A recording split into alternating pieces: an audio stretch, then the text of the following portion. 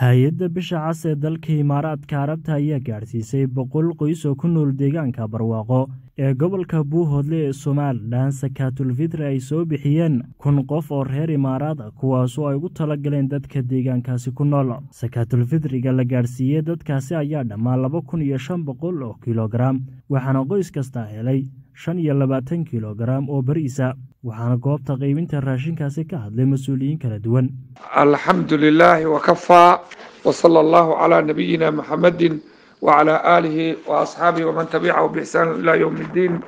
alyowm naxnu fi madin fi qaryati barwaaqo fi dawaaxi muxaafadati buuhoodle ardi soomaal wa taariikhu lyowm talaatiin abril alfayn اثنين وعشرين موافق تسعة وعشرين من رمضان ألف أربعمائة وثلاثة وأربعين هجري. وتسلمنا من مكتب هلال الأحمر الإماراتي في هرقيسة زكاة الفدر من ألف مؤمن من الإماراتيين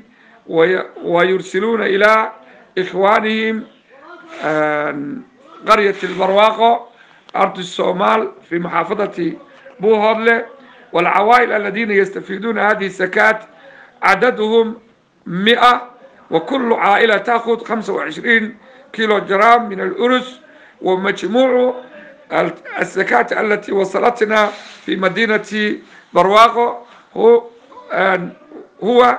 2500 كيلوغرام أرز ونسأل الله أن يبارك على الإمارات وخاصة الذين يدفعون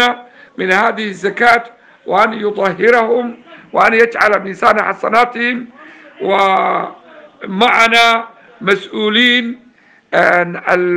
القرية مثل مدير القرية من جهة الحكومة و ونائب البرلمان في هذه المحافظة.